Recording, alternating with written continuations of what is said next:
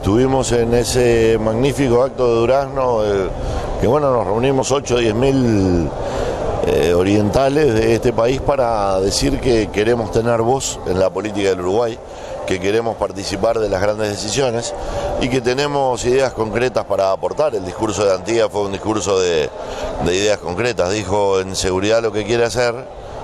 dijo que es este, aplicar tecnología, que es volver a la vieja comisaría,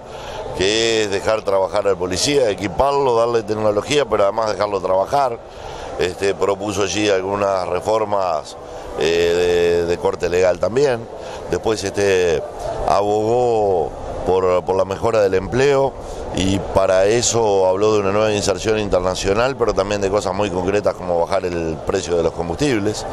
Este, y después, bueno, en educación fue muy claro en el nuevo protagonismo que deben tener los directores, cómo la comunidad debe apropiarse de la cuestión educativa para, para transformar la cuestión educativa en una cuestión personalizada y así tener éxito este, este esquema de, de educación en el que no importan las personas este, está absolutamente perimido y tiene cero resultado. Y después este,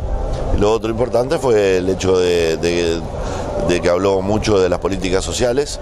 de una fuerte inversión en el deporte, pero además de que las transferencias del MIDE sean hechas por los gobiernos municipales y por los gobiernos departamentales, para darle al ciudadano lo que el ciudadano necesita y no lo que el Estado cree que el ciudadano necesita.